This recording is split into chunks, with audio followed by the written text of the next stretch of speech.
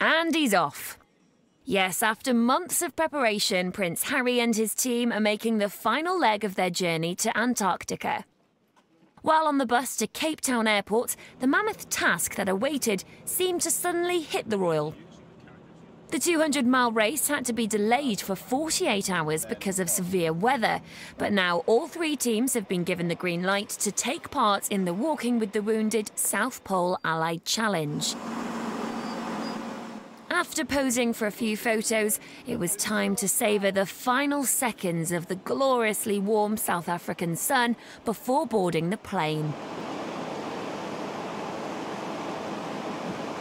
The climate at the other end of the flight will be somewhat different.